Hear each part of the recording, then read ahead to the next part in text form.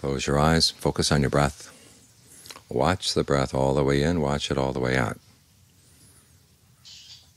And then with the next breath, and then the next. Just keep staying with the same topic as long as you can. The mind is used to jumping around, which is why it's so tense all the time. It's like a cat jumping from one unstable place to another unstable place, and it's going to be tense all the time. Even when it lands, it's tense because it's tensing up where it's stable is un, excuse me, where it's standing is unstable, and it knows it's going to have to move. So it's tense all the time. The same with the mind. It's jumping here, jumping there. Never gets a chance to settle down and be at peace. So here's a chance to give it some of that time. You have no other responsibilities right now. Just stay right here. Allow the mind to settle in, settle in, settle in. Anything that would pull you away, you don't have to pay attention to it. You don't have to be responsible for it. Give the mind some time to be its own self, to look after its own self.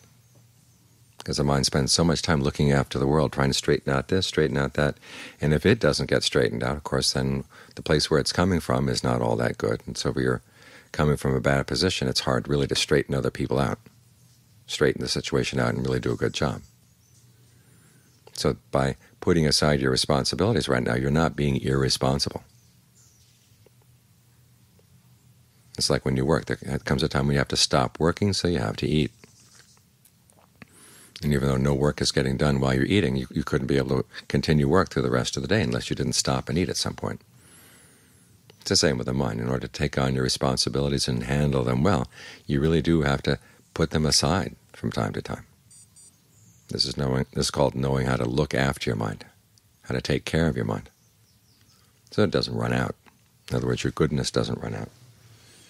Because when we start getting weak, that's when it's difficult to do the right thing or say the right thing or think the right thing, because it takes energy to do those things.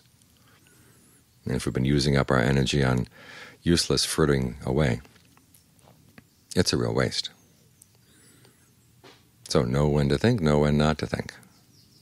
And in Ajaan Lee's image, it's knowing when to use your knife and when to put it back in the scabbard. You put it in the scabbard, you, you sharpen it, you bathe it with oil to make sure it doesn't get rusty, and then you put it away.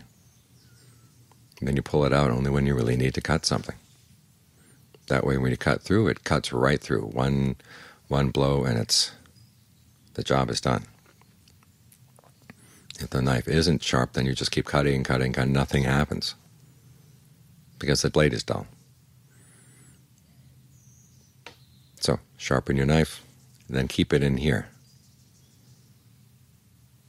so it can cut things through when you need them.